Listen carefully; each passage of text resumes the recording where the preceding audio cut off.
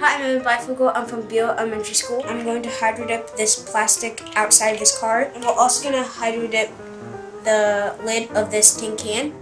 All of this stuff you can buy online besides the thing that you're hydro dipping in the bucket. So now I'm just going to do the experiment.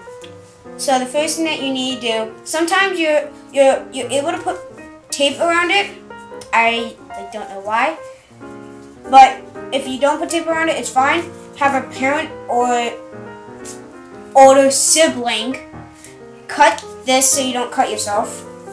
And you simply shiny side up and if you don't know like which shiny side up, you just put like two fingers on um like put two fingers in your mouth and touch it with your tongue and then like smooth and like put it on and whichever side is is like sticky more then you just put that side down so we're gonna start with this and we're doing the plastic fish.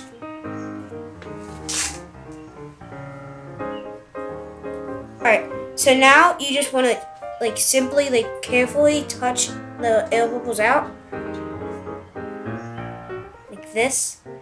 And it, like it's fine if they're like not all out, but like if you like if they're like really close to the edge, it's fine. So. That if like all of them out. So what you need to do is you get this spray. You have to get this online, obviously.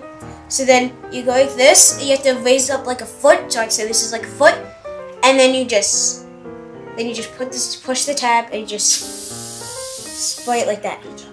And the spray smells horrible, as you can tell.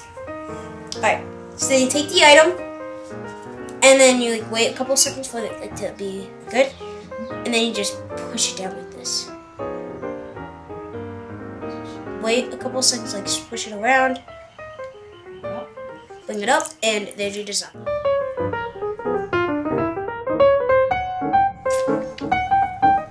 Foot high.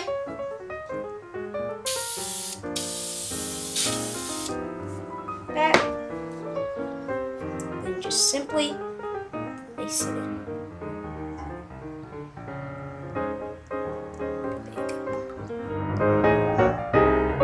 That's my science experiment.